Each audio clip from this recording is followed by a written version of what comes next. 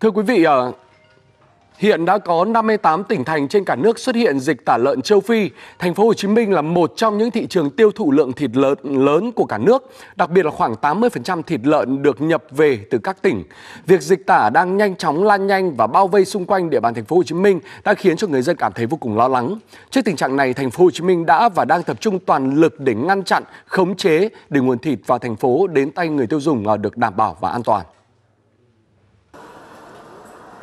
Đây là một trong những chốt kiểm dịch động vật được thành phố Hồ Chí Minh tăng cường để kiểm soát nguồn gốc thịt heo đến từ các tỉnh miền Tây. Tất cả các xe khi qua đây đều phải được khử trùng trước khi đưa vào địa bàn thành phố. chưa có phát hiện những cái trường hợp mà heo nhập lậu hay là kém chất lượng hay là heo chết hay là heo dịch bệnh vào thành phố. Cái chúng tôi lo ngại nhất chính là những cái dạng mà tiểu ngạch. Hiện giờ thì Ủy ban Nhân dân quận huyện đang phối hợp cùng với ngành thú y thì đang hết sức là dẹp cái tình trạng là giết mổ lậu. Để thịt heo được chính thức đưa vào tiêu thụ trong các chợ đầu mối như thế này, thì ở phía bên ngoài lực lượng chức năng cũng đã và đang phải tiến hành việc kiểm tra chất lượng, cũng như kiểm tra nguồn gốc của thịt heo chở đến trong những chiếc xe đông lạnh như thế này, được lấy từ các lò mổ thông qua việc truy xuất nguồn gốc.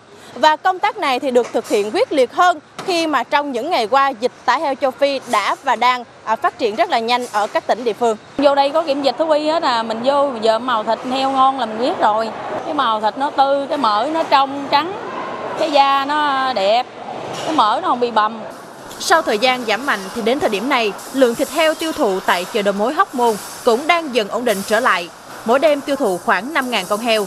Giá thịt heo cũng đang có xu hướng tăng dần về ở tại cái đơn vị mà kinh doanh của mình là phải đảm bảo về cái vấn đề mà à, tiêu độc khử trùng cũng như là vệ sinh tất cả các trang thiết bị mà kinh doanh. Thương nhân ở đây là họ thực hiện rất là nghiêm. Họ chung là họ rất là ngại về vấn đề mà cái à, chất lượng sản phẩm hàng hóa mà không đạt yêu cầu. Để tránh thêm thiệt hại cho người chăn nuôi, cơ quan chức năng cũng khuyến cáo người chăn nuôi nên chờ qua hết đợt dịch này mới tái đàn, bởi hiện chưa có vaccine cho dịch tả heo châu Phi.